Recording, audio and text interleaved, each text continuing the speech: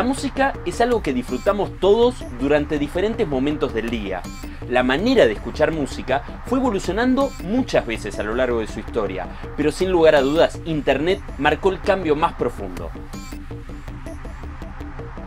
La historia de la música tiene múltiples maneras de ser vista, escuchada y analizada, pero en todos los casos hay dos personas que son fundamentales. Por un lado el músico y por el otro la persona que está escuchando.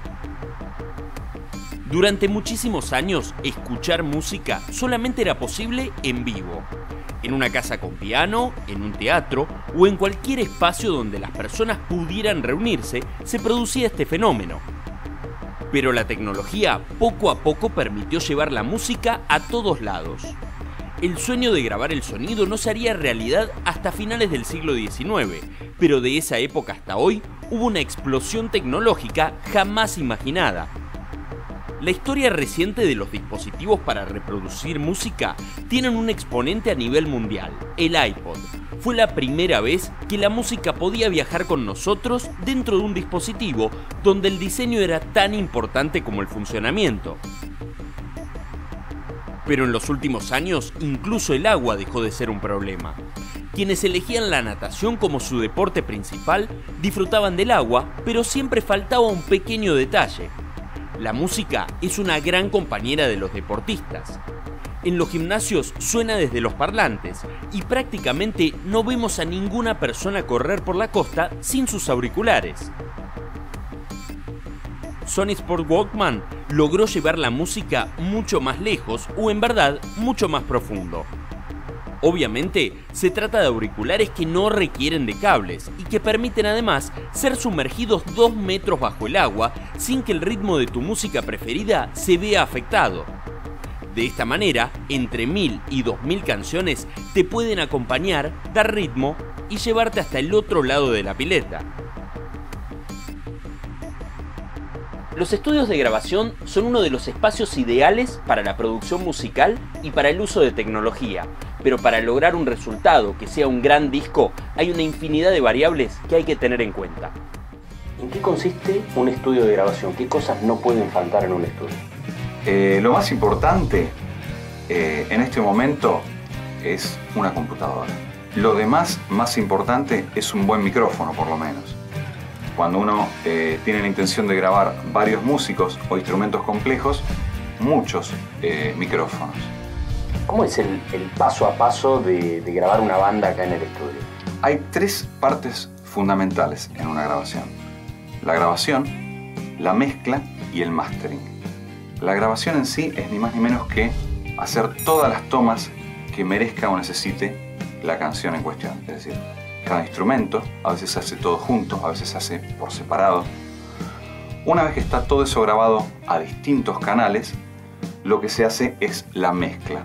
Es decir, es como hacer una torta de los ingredientes que previamente conseguimos. Aparte de darle el volumen, es decir, el nivel a cada canal, se puede eh, dar paneo, es decir, mandar hacia un lado o hacia el otro del estéreo, eh, ecualizar más grave, más agudo, más fuerte, más brillante. Una vez que tenemos eso es prácticamente lo que uno después va a utilizar en eh, un disco comercial o incluso en internet. La diferencia está en este tercer paso que se le llama mastering, que es casi una ciencia oculta. Que es en definitiva tratar de que el disco suene bien en todos los reproductores posibles, evitar que haya algunas frecuencias demasiado eh, estertóreas, eh, demasiado fuertes, demasiado chillonas, Aparte, por una cuestión eh, casi comercial, se le da muchísimo más volumen del que tendría que tener. Imagínate que si a vos en la radio pasan un tema tuyo al lado de otro eh, disco comercial, tendría que tener un volumen más o menos similar, por una cuestión que se le llama psicoacústica. Si vos escuchás la misma canción a mayor volumen, te va a gustar más. Es la tercera etapa eh, para crear un máster de duplicación, que es lo que realmente después se va a imprimir como un CD comercial o incluso se van a sacar copias con una eh, menor resolución que se llama normalmente MP3 para poder enviar a la web y subirlo y que lo escuchen gente a través de todo el mundo.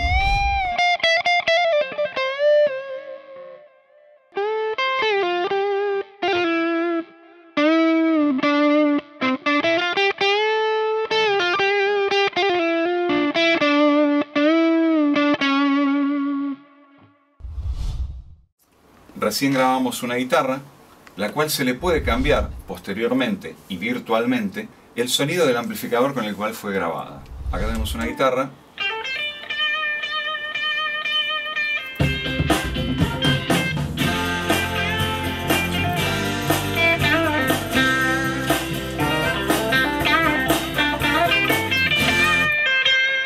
Acá tenemos la guitarra y podemos ponerle una cantidad bastante vasta de amplificadores virtuales. Podemos, podemos utilizar este o alguno por darte un sonido bastante distinto.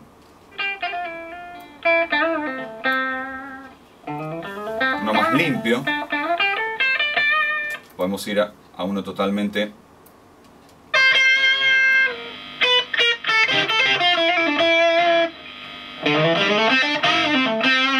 cada uno con sus características de eh, brillo, ecualización, cantidad de distorsión, etc. Una cosa interesante dentro de la edición es tratar de adaptar una parte de otra canción, eh, por ejemplo, una base de batería o percusión, a una canción que nosotros ya previamente tenemos grabada. Por ejemplo, uno tiene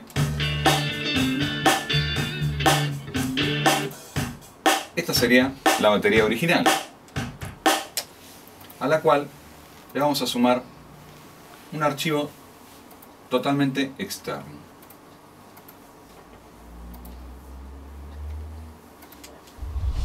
Si ponemos las dos juntas,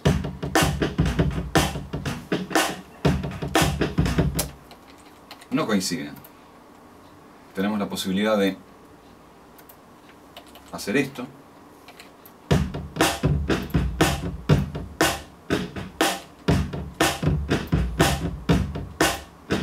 O incluso esto por darte un ejemplo.